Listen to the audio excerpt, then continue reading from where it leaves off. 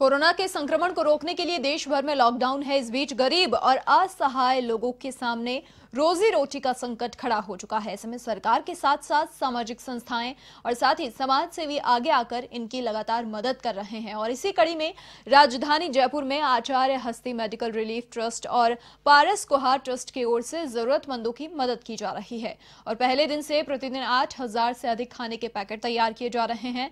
समाज सेवी विनोद लोढ़ा ने बताया कि आचार्य हस्ती मेडिकल रिलीफ ट्रस्ट और पारस कुहार ट्रस्ट की ओर से साल 2002 से जैन रसोई चलाई जा रही है, जहाँ रियायती दर पर लोगों को खाना मुहैया करवाया जाता रहा है।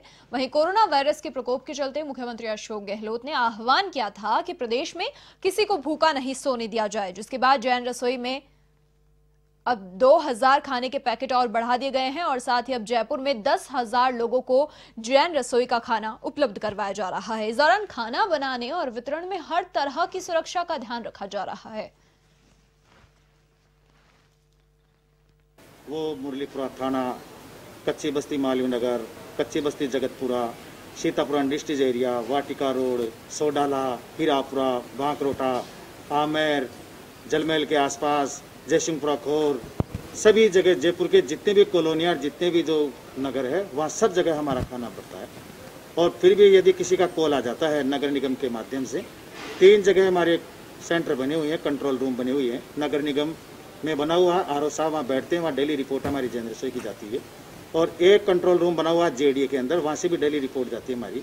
वो लोग भी हमें कहते हैं कि वहाँ पचास आदमी है, वहाँ दस आदमी है, वहाँ आठ आदमी है। मदरामपुरा में इतने आदमी है, सांगानेर में इतने आदमी है, सांगानेर कच्ची बस्ती में इतने आदमी है। वहाँ हमारी गाड़ी तुरंत खाना लेकर के वहाँ पहुँचती है और सब लोगों को हम खाना प्रोवाइड करा रहे हैं। ये Achar Hasti medical relief trust और पार्स कुमार ट्रस्ट दोनों मिलकर ये चीज़ को चला रहे हैं। और स...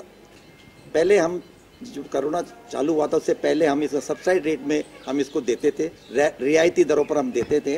लेकिन जब से कोरोना चालू हुआ और माननीय मुख्यमंत्री अशोक जी गहलोत का आह्वान हुआ कि आप अपने प्रदेश में कोई भी भूखा नहीं सोना चाहिए। उस बात को ध्यान में रखते हुए हमने यहाँ पे जो लगभग पहले एक हज़ार खाने से चालू किया और आज हम साढ़े आठ हज़ार खाने तक पहुँच गए हैं। बहुत दानदाताओं का हमारे को सहयोग मिलता है। यहाँ पे ग्रुप भी आते हैं। अपने हिसाब से कभी सौ, कभी दो सौ, चार सौ पैकेट ले जाते हैं। बाकी हम वो भी अपने पैसे खुद देते हैं और बाकी निःशुल्क ये सारे खाने पड़ते हैं।